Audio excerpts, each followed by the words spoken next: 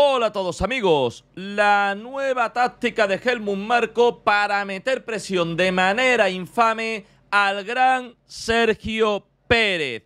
Qué pena dan, se creen que engañan a alguien, pero ya no engañan a nadie. ¿A quién utiliza ahora el amigo Marco? A Bayer, el jefe del chico de los recados de Red Bull.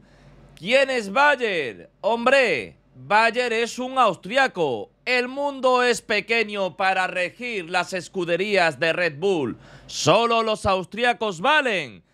Sin embargo, es curioso cómo han metido a un austriaco con calzador hace un año que no tiene ninguna experiencia en Fórmula 1. Es decir, tú, el que me estás viendo, sabes más de Fórmula 1 que el que lleva al chico de los recados de Red Bull. Una auténtica vergüenza que vamos a desenmascarar ahora mismo. Y el mismo Daniel Ricciardo se abona al caldo de curtivo sabiendo que ha perdido la batalla con Sergio Pérez y quiere postular a su noda para seguir con esa infame presión artificial a Sergio Pérez, subcampeón del mundo y fichado por Red Bull hasta 2026.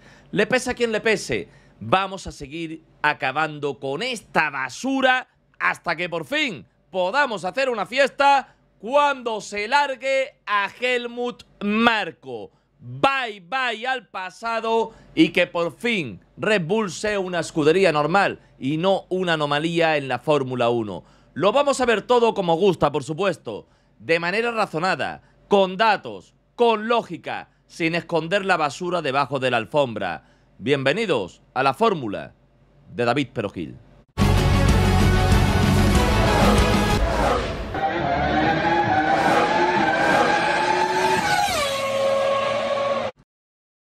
Lo primero de todo, amigos míos, como siempre, es un inmenso placer estar echando este ratito de nuestra gran pasión, la categoría reina del automovilismo, aquí en vuestra casa. Como de bien nacido, es ser agradecido. Quiero mandar, mandar un gran saludo a algunos de los más de 158.000 suscriptores que somos. Un gran saludo al amigo Mr. Feruda. Hola David, te envío un fuerte abrazo. Te agradezco tu profesional comunicación que nos brindas con verdad y poner en su lugar a la basura de semiperiodistas que envían pura basura con mentiras y protegiendo a pilotos extraterrestres. Denigrando a excelentes pilotos hispanos por su mediocre conocimiento. Te seguiremos en todas tus excelentes transmisiones y seguiremos recomendando para que disfruten tus conocimientos y excelente trabajo que haces. Si puedes, saluda a mi hijo Alfredo Romo Yaca, que también te sigue y es el que me recomendó tu programa con el cual logré comprender y entender la Fórmula 1. Gracias y de nuevo un fuerte abrazo. Saludos. Pues un fuerte abrazo al amigo Mr. Ferudo y por supuesto a su hijo Alfredo Romo Yaca. Un besazo para los dos y ahora sí, vamos a Leo. Hombre, hombre, hombre, hombre, como no bastaba con Ricciardo, con Marco y con el Verstappen y con el chico de los recados, llega el jefe del chico de los recados a soltar basura contra un piloto que tiene contrato en Red Bull Racing hasta 2026. ¿Qué preocupación tendrá el clan Verstappen con largar a Sergio Pérez antes de que entre en vigor su nuevo contrato? Hombre, no lo podemos imaginar. Si le quitas Ovir y le pones a un buen ingeniero de carrera, si Hannah Smith piensa los dos pilotos, no solo en uno, si resulta que de repente le pones un ingeniero jefe de pista que es el único de toda la Fórmula 1 que no lo tiene, y de repente le traes un vehículo con actualizaciones, que cosa que no ha hecho los tres últimos grandes premios, pues empieza a pasar lo mismo que pasó en 2022, que pone contra las cuerdas al niñito extraterrestre y demuestra el piloto 2, que todos sabemos que es Sergio Pérez. Ese es el problema, y por eso sigue esta basura. ¿A cuento de que viene Peter Bayer el 15 de agosto, cuando toda la gente está con su familia, quiero que hagáis una reflexión. Ellos mismos se pillan los dedos, amigos. ¿Cuántos jefes de equipo se ponen a decir noticias basura contra otro piloto para meter presión? Es que no existe. Es que esto es solo todo contra Checo. Y todo el entorno de Red Bull es, vomitivo. Eh, que es el 15 de agosto que está descansando todo el mundo. No, no, no os preocupéis que los equipos de Red Bull no descansan para empezar a meter una falsa presión y basura sobre Sergio Pérez. ¿Cómo no? ¿De dónde viene? Del austriaco, del amigo Peter Bayer, al que ahora mismo le vamos a quitar la careta, que no es más que otro calcetín de los que maneja Helmut Marco de manera triste. Bayer, su noda será considerado para el descenso a Red Bull si sigue rindiendo. Vamos a ver. Esto, por supuesto, lo saca colación Motorsport. Dentro de Network Motorsport, toda esa basura que llevo demostrando desde hace más de un año que lo único que hace es mentir contra Sergio Pérez y soltar noticias basuras para meterle una falsa versión. Por supuesto, toda la basura a nivel mundial antiperiodística se hace eco de esta gran basura y, le hace el juego, porque el jueguecito es atacar al mexicano con basura y con mentiras. Vamos a ver lo que dice Peter Bayer, que se ve que el 15 de agosto, en vez de estar en un yate o están con su familia, lo que le apetece es soltar basura para meter presión a Sergio Pérez. No tiene otra cosa que hacer el chavalote el 15 de agosto. Vamos a ver.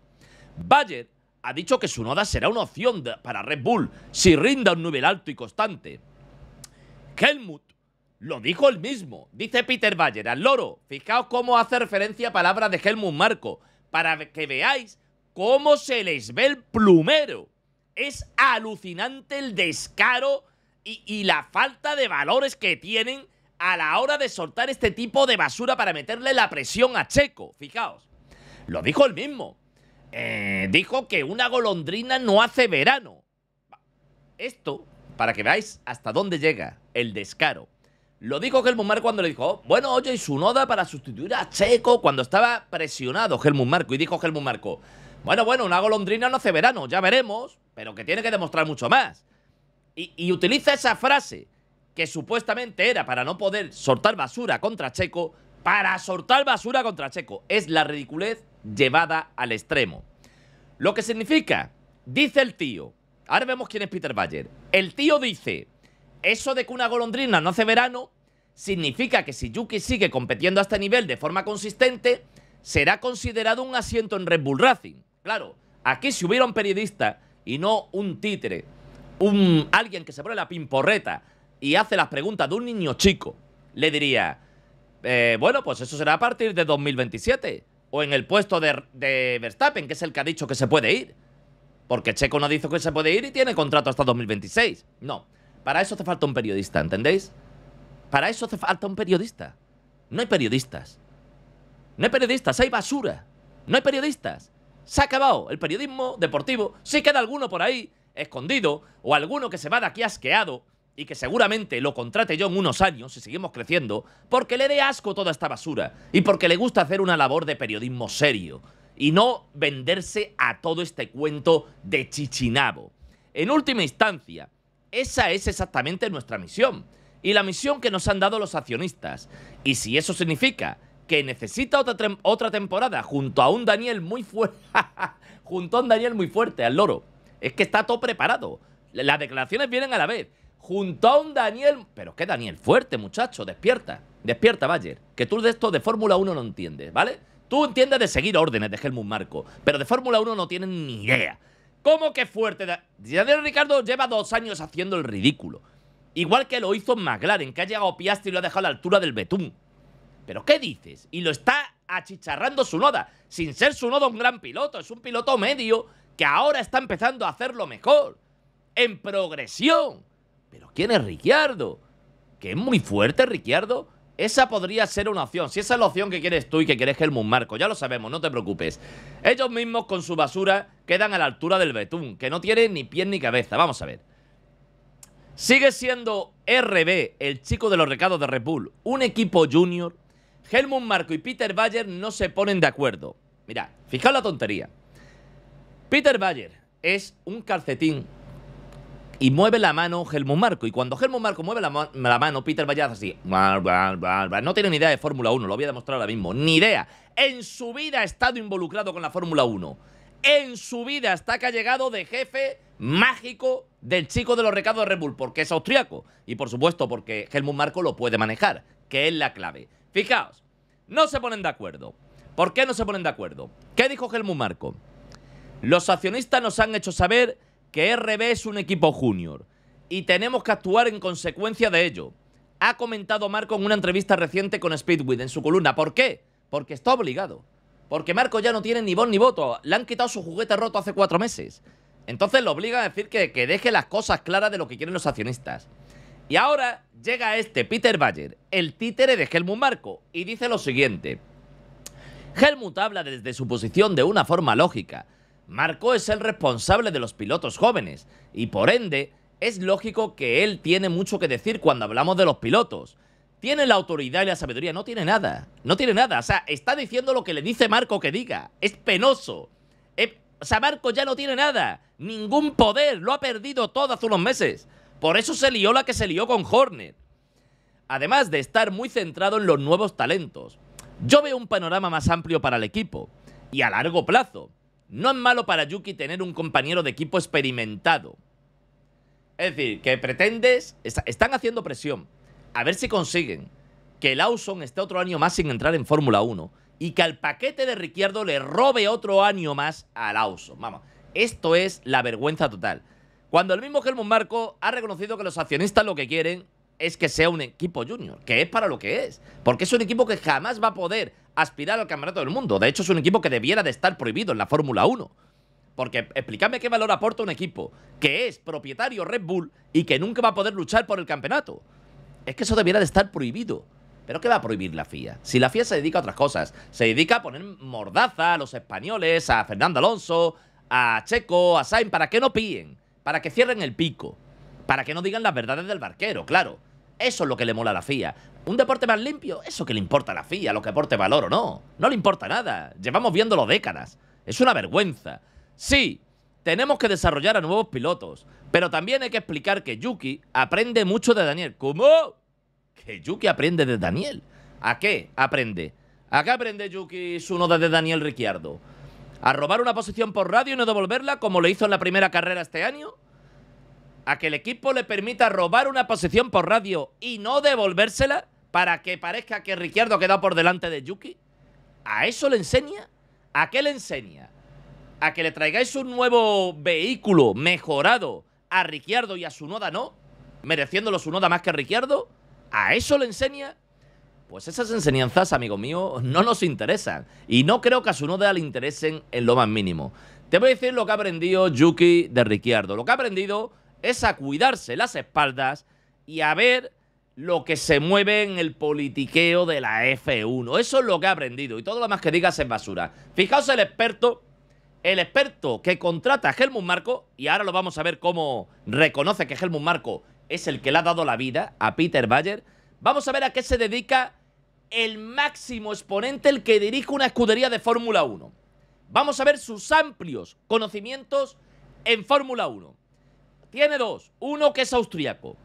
Dos que de alguna manera, o en un colegio, o en un internado, o de alguna manera está controlado por Helmut Marco. No, de eso no cabe duda. Y ahora vamos a ver la experiencia que tiene este tío austriaco para que lo metan a dirigir un equipo de Fórmula 1.